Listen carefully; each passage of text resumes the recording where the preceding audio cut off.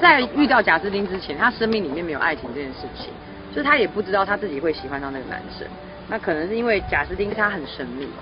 他总是静静的不讲话，然后你跟他打招呼，他也不理你，可是你又觉得他在帮你，所以这种感觉就是会让这个女孩子觉得很特别。他从小被保护的好好的，他对于他自己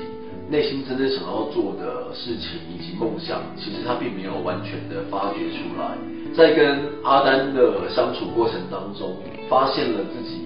所缺少的，开始决定就是要为自己的梦想去打拼。可是贾斯汀的情感不是这样，他的那个心意是是是好的，是很喜欢这女生，想要看到她幸福的笑容，可他表达的方式会错误，所以阿丹才会这么生气，这么难过。可能就是因为这样这样子的初恋才会更深刻，因为他并不是那么呃裸露的一个爱情，他是很比较内敛一点。我会为了你努力成为一个更好的人。那你喜欢我吗？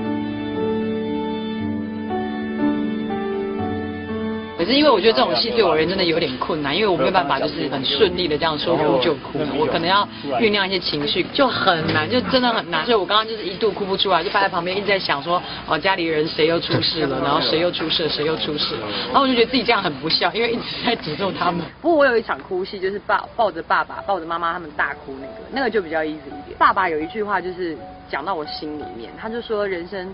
人生里面有很多的过客。呃，如果不是过客的话，他就会再回来。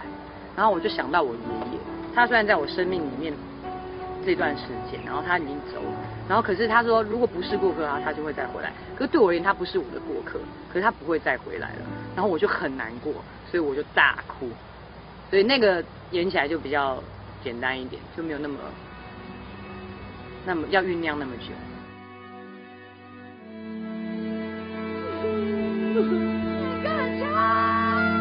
这一切的努力，